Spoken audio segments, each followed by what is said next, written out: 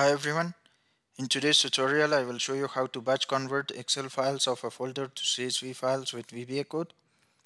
In Excel, we cannot convert the workbook to a CSV file with the save as function.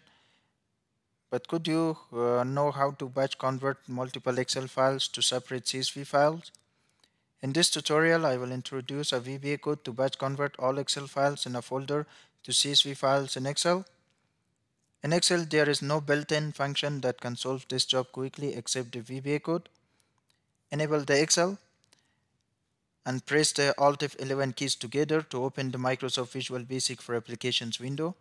Click the Insert tab, click Module, and paste the following VBA code into the module window.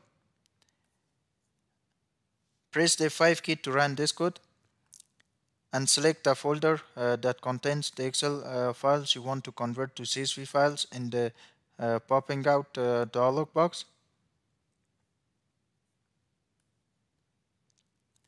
Click the OK button. Then in the second uh, popping out dialog box, select the folder to place the CSV files and click the OK button. And now the Excel files in the folder have been converted to CSV files and saved uh, in another folder as you can see.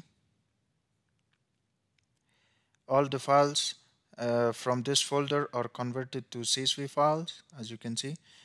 The type of the file is changed to Microsoft Excel comma separated values file. Please do not forget that the link to the VBA code is provided in the video's description. Thanks for watching and please subscribe for more videos.